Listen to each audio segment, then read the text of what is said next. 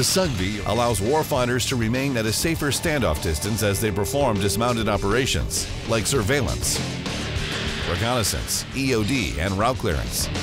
With a total robot system weight of less than 30 pounds, the man-portable SUG-V is lightweight enough to be carried in a MOLLE pack. Its powerful gripper provides brute strength and surgical precision. Rotating a full 360 degrees, it performs the most delicate tasks and is strong enough to handle objects weighing up to 22 pounds or 10 kilograms. This rugged all-weather robot conquers all terrain, so you don't have to. SUG-V even climbs stairs. At more than 6 miles per hour, the robot gets downrange fast, providing eyes on. Once on target, choose from four cameras to investigate. SUG-V is operable from the uPoint multi-robot controller. When operating in challenging environments, multiple robots can work together to relay reliable communications and increase your operational range.